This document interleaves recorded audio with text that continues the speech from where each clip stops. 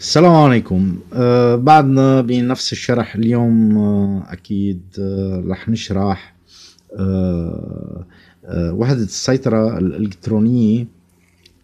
بعدنا هي ذاتها اللي هي سورينتو ست سلندر ولكن مش رح نتكلم عن شق ال power supply رح نتكلم وقت اللي بيصيب خلل الترانزستورات. مثل ما واضح عندي هون في عندي ترانزستور اثنين وثلاثة وإذا رفعنا ال board تماما تحت هالمنطقة رح تلاقي كمان واحد اثنين وثلاثة نفس ال ال القصة. رح يطلع لك آه كمان ثلاثة ترانزستور. السيء بعملنا آه دايما بنواجه آه مشاكل بيكون في نوع من التلف البسيط آه، بالترانزستورات وأكيد بيسبب لنا ببخ آه، آه، وقود زائد مما أكيد بيرتفع عملية بخ البنزين وبيسبب لنا بعدم ثبوت في المحرك أو آه، آه، دخني سوداء أو آه، أو مصروف زائد أو إلى ما هنالك. موضوعنا أكيد كيف تشخيص هيك أنواع من العطل؟ بعدنا أو هيك أنواع من العطل. بعدنا واصلين بعدنا واصلين. خط البارد وخط الموجب أو ال B plus وخط B plus مثل ما واضح عنا بعدنا على نفس ال tester board وعم استعمل فقط لا غير ال transformer اللي رح يحولنا إشارة 12 فولت. خلونا نكتشف نحن وياكم سوا. ونشوف إذا بهيدا الموضوع نقدر نحصل أو نشوف الترانزستور التالف. عندي مثل ما حكيت ترانزستور اثنين وثلاثة. خلونا أول شي نشرح شغلة كتير مهمة.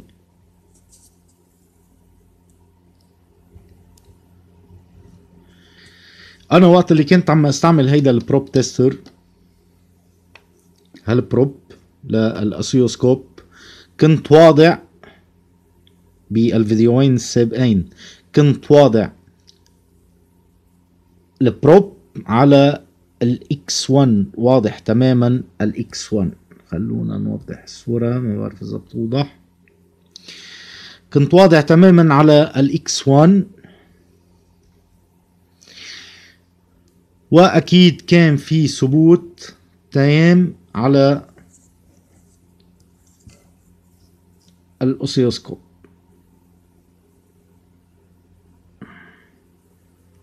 مثل منه واضح عندي بعد على نفس الإيام. بهيدا بهيدا الشرح رح يختلف الشرح تماما. رح استخدم آه، ملقط واوصله بطرف تاني من tester ل multimeter عادي. أوكي. وال ground تبع ال probe تبع ال oscilloscope رح نوصله على ال test board اللي قمنا بتركيبها ورح انقل ال probe على ال X 10 okay. ورح قوم كمان بوضع ال volts division على الناقص واحد. رح يطلع عندي إشارة كتير غريبة واصلا مش مفهومة بس هلأ نشرح نحن وياكم بعد ما نلقط العطل. إن شاء الله رب العالمين. كيف حددنا موضوع مثل ما واضح عندي التستر رح يلقط لي اي أي تردد. يعني حتى لو مسكت البروب بإيدي مش واضحة كتير. خلونا نجرب نوضحها. إذا واضح في خطوط هون كتير طايلين نقول إنه هيك. ما علينا.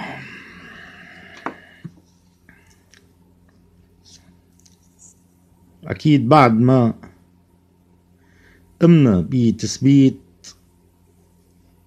نشوف إذا بهالطريقة.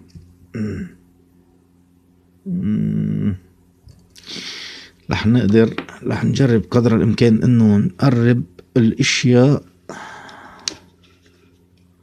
لهيدي الميلة حتى الكاميرا تقدر تلقط كل الشرح. وللأسف ما رح نقدر نصيب كل الشرح. okay okay okay okay okay okay. هيك تمام. هيك تقريبا تقديريا واضحة عندي الأشياء. okay رح أقوم بإعطاء ال power supply مثل ما واضح عندي أخذت الجزء اللي بيتعلق بال power حكينا عنه. وأكيد عندي ال ال ال probe tester اللي رح قيس فيه مثل ما واضح عندي أي إشارة. أه مثل ما كلياتنا بنعرف أه أو صرنا نعرف ال ECU عنده نقطتين كتير مهمين اللي هو ال input وال output. ال input هن المداخل منهم أكيد منطقة التغذية ال power supply تبع ال ECU أو وحدة آه، السيطرة الإلكترونية ECM سميها مثل ما بدك. آه، بينما ال output هن الأوامر أو ال command اللي طالعين من الكمبيوتر أو ال ECU يعني من المفترض هالترانزستورات وأكيد مش افتراض إنه هني مخارج البخاخات. okay؟ رح أقوم بوضع ال probe tester على أول مخرج للبخاخ. أكيد ماني عارف أنا ما راجعت تماما اي أي خريطة. مثل ما واضح عندي رح يعطيني المؤشر ب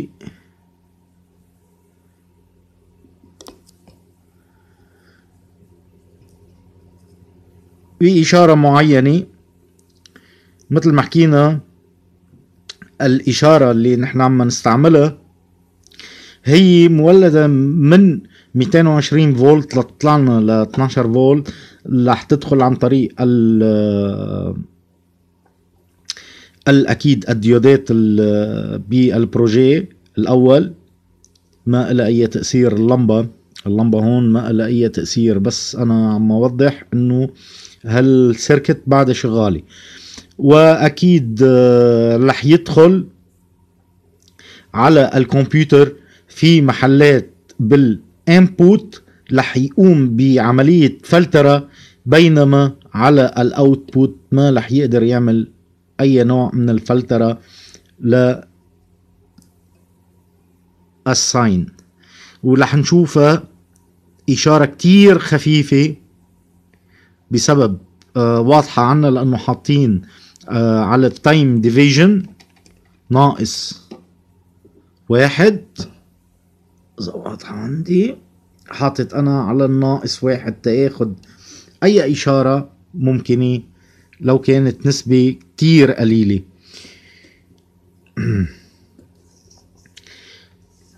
الفلترة هون مش عم تحصل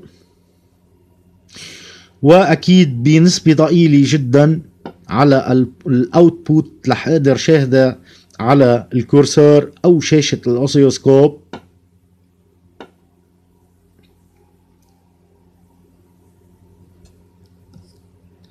مثل منها واضحة على شاشة ال oscilloscope double alternance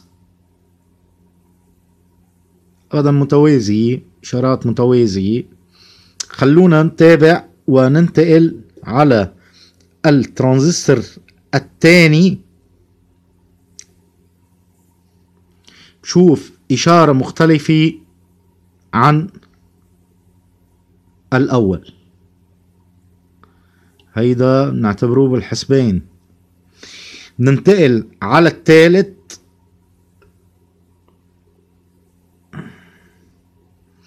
بنشوف إشارة مطابقة تماما للأول.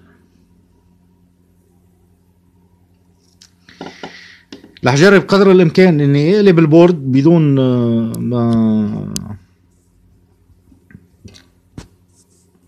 ونفحص الثلاثة ترانزستور الباقيين.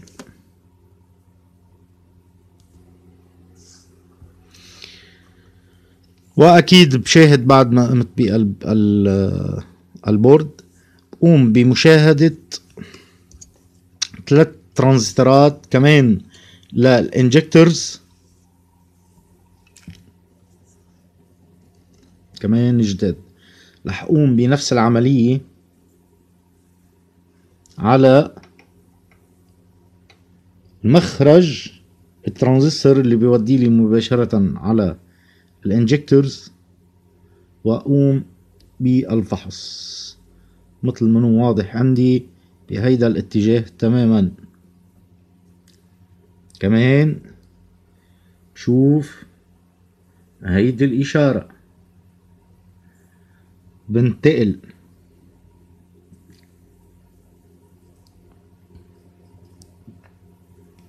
على الثالث أو صرنا بالخامس. أوكي. كمان شوف نفس الإشارة تماما للأول والثالث والرابع. كمان بنتقل على السادس. شوف كمان. إشارة. نفس نفسها للأولى والثالثة والرابعة والخامسة. خلونا بعدنا حافظين الإشارة تماما. انتهينا من هيدي الجهة. لنرجع على الجهة الأصلية.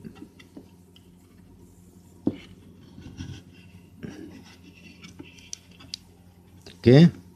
هيدي الجهة الأصلية.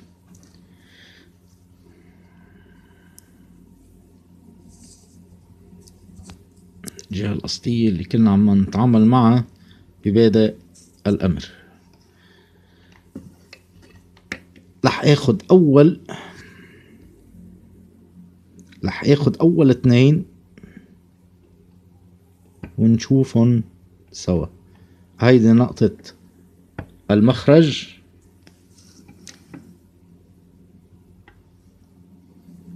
أوكي. نقطة المخرج عند هيدا. بنتقل على النقطة الثانية تماما اللي حده. إذا بنتبه عم يقوم بفلترة غريبة. حط علامة استفهام